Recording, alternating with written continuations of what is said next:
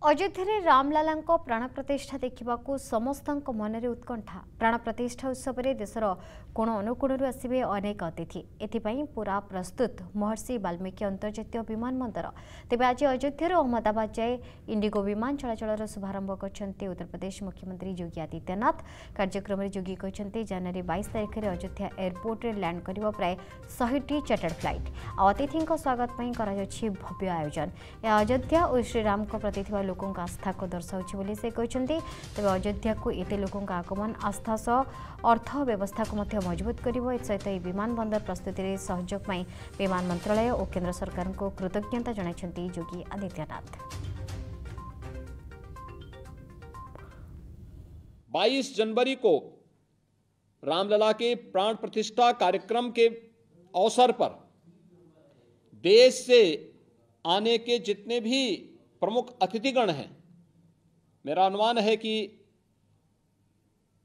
22 जनवरी को अयोध्या एयरपोर्ट पर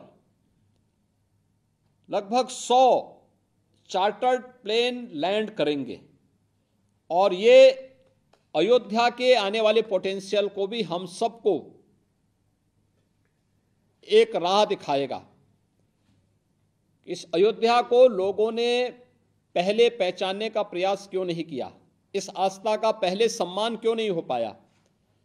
और ये केवल आस्था ही नहीं, बल्कि आस्था के सम्मान के साथ साथ अर्थव्यवस्था को भी एक नई गति देने में सहायक होगा। लाखों नौजवानों के जीवन को भी एक नई गति देने में अयोध्या का इंटरनेशनल महर्षि वाल्मीकि इंटरनेशनल एयरपोर्ट सहायक होगा। इन सभी कार्यक्रमों में रुचि लेने के लिए और सहयोग करने के लिए मैं नागर विमान विमानन मंत्रालय, भारत सरकार को हृदय से आभार व्यक्त करता हूँ। जदि आपंक आम भिडी भल लगा तेब आम चैनल को लाइक, शेयर और सब्सक्राइब करने को जमा भी बुलां नहीं।